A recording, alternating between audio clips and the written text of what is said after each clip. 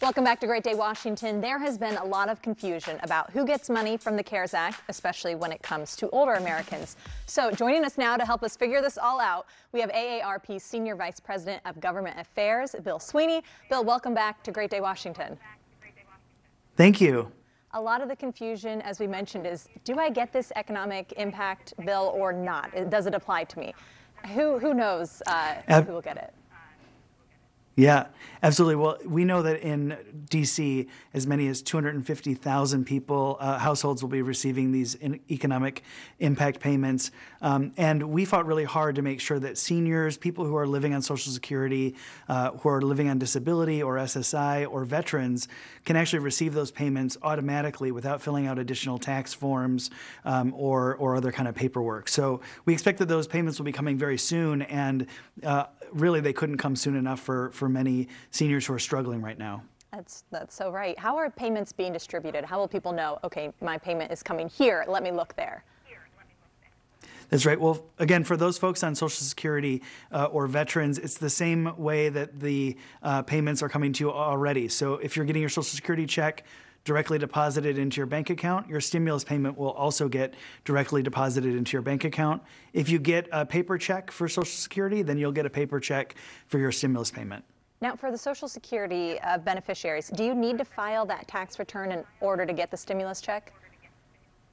You don't. And I think it's really important that people understand that um, we fought hard to make sure that those payments would be automatic, that the Social Security Administration would just talk to the IRS and that they would share the list to make sure that they're not duplicating. But it's really important that scammers and some other people might try to steal your information. And so, just as a reminder, the IRS will never call you asking for information about your bank account or any of that. Yeah, excellent reminders there.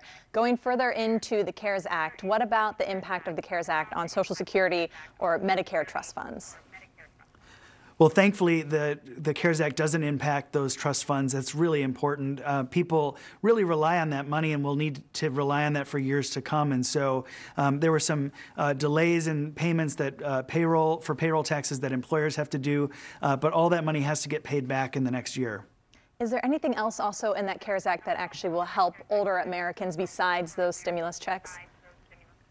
There sure is. You know, in the the CARES Act has significant funding for the NIH and for the CDC. It's really important that we have all of that health research to try to find treatments or cures or maybe even a vaccine for this horrible disease. Um, eh, that is, you know, really important. And as well, uh, help for people who are living in nursing homes. We've seen all across the country, certainly in our area, the uh, the the real prevalence of this in nursing homes. And so, some there's some extra money in there to, to try to get emergency help into those nursing homes.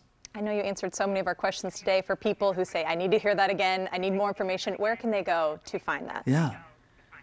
Well, there's more information on our website at aarp.org slash coronavirus um, or the IRS website, irs.gov.